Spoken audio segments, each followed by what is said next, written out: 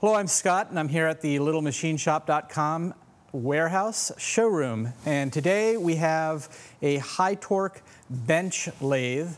This is our model 7650 bench lathe.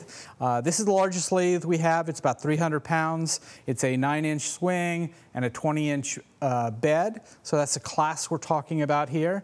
So this has a 1000 watt brushless motor. You get all the benefits of a brushless motor, reliability, power, performance. Uh, it's got a direct drive uh, belt to the spindle uh, between two pulleys. So it's variable speed, direct drive, uh, makes this extremely quiet when cutting. Uh, it also makes this extremely reliable, no gears uh, to break. This does have a set of change gears, but the, the drive system itself uh, is gearless. Uh, this has NSK brand tapered roller bearings. One, you want the right bearing in the machine. The other part is you want a good brand, a good reliable quality brand or you're not getting the benefits of those better bearings. The next thing you'll probably notice is the LED mirror display up here.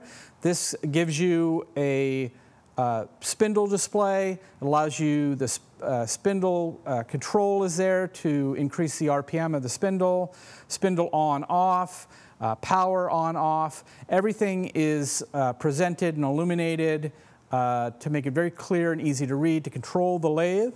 This uh, machine comes with a two-axis DRO. Uh, the axis is going to be, there's a magnetic scale on the bed here. There's also another scale on the cross slide. So you're getting uh, readings from both those measurements, whether you cross slide or uh, carriage movement across the bed. Uh, moving on, this comes installed with a five inch chuck.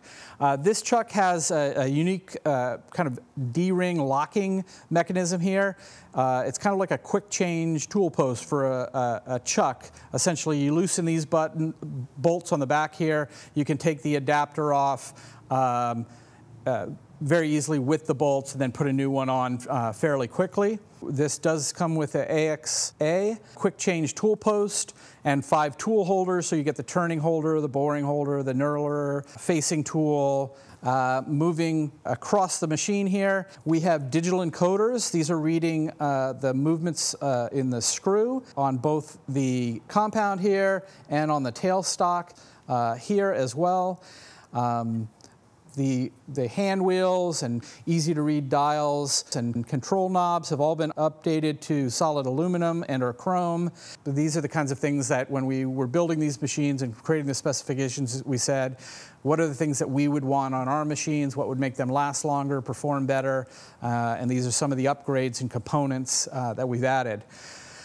Moving down here, what you've got here is power feed, uh, mechanism here, and this dial here actually also gives you a power crossfeed. Power crossfeed on this is something that you don't regularly see on uh, this size uh, mill. And for our larger machines, we highly recommend the stands. These are uh, heavy gauge steel construction, uh, welded together. You bolt the machine onto it, and then they've got places to uh, bolt this into the floor. it puts your machine at the right height. It comes with a built-in chip tray.